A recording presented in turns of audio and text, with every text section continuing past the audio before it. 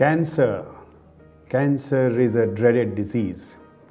The moment anybody is diagnosed with cancer, it shatters the family as well as the patient. So, to treat cancer, to go through the journey, the patient as well as the family, they need somebody to hold their hands and to guide them all throughout the journey, right from the time of diagnosis, post treatment also. Realizing this, Manipal Hospital, they floated a We Can division. What is this division? This division is team of survivors, cancer survivors as well as cancer caregivers who hold the hands of the cancer patients and their family all throughout the cancer journey. So, as the wellness team, we think that um, cancer treatment and support for the cancer treatment uh, should be divided into three parts, right? One is uh, at detection, uh, the other is during treatment, and then one is after treatment. So, typically, what happens uh, at diagnosis is that patients and their families are completely lost. It's something completely new for them to be dealing with whether it's understanding medical terminologies, whether it's getting confused because of things written on Google, or you know, getting multiple opinions from friends and family.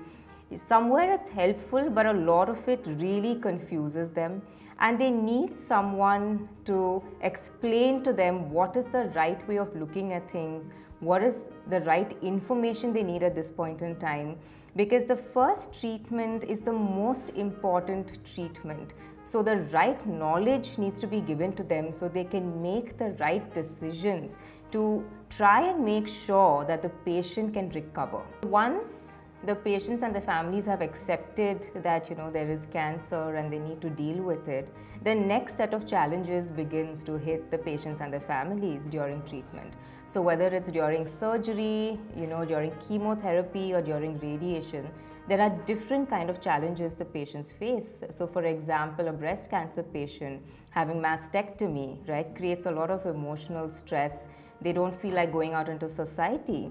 For example, even during chemotherapy, losing your hair, looking different, feeling different, there's a lot of anxiety, there's a lot of side effects, you know, that take place. They don't know how to deal with it. They're lost to the do's and don'ts, hygiene, what to eat, not to eat. So there are a lot of things that uh, you know need to be taken care of while treatment is going on and the patients need someone who's constantly holding their hand through this entire process. So the families and the patient are not lost. Also there's tremendous amount of emotional trauma that a patient and the family go through while treatment is going on be it because of physical changes be it because of the treatment or the nature of you know this kind of stress that they're going through. So there are so many different reasons that they need emotional support and hand holding throughout their treatment.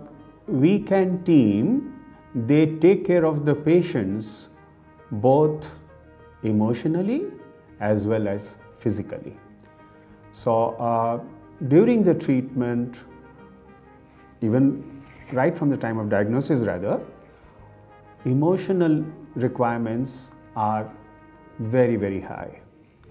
During the treatment, physical requirements also come in because of the side effects of the treatment, the aches and pains that the patient has to go through. Once treatment is over, while it's a time to celebrate because you know patients and families have gotten over this battle of cancer, one of the biggest things we found is the fear of recurrence that completely engulfs the patients and their families and they have absolutely no guidance, no knowledge, no direction at all as to what has to be done to avoid recurrence or to live a normal life or to bounce back to a normal life. Some of them don't even want to go back to the normal activities because they feel embarrassed about going back into the society.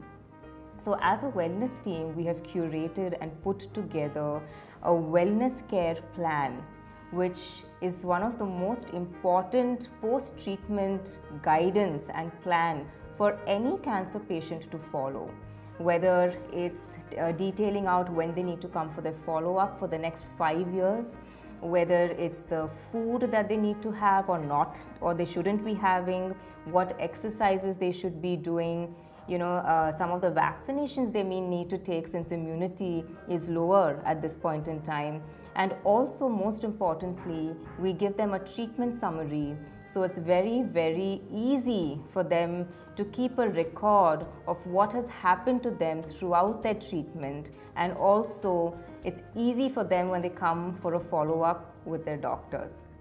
So, all in all, it's a very important plan for the patients and their families to follow, which will make life much easier and much happier for them. In other words, it's a holistic plan that we give which can help them to lead a very happy, cancer free life. So that's what WeCan is doing.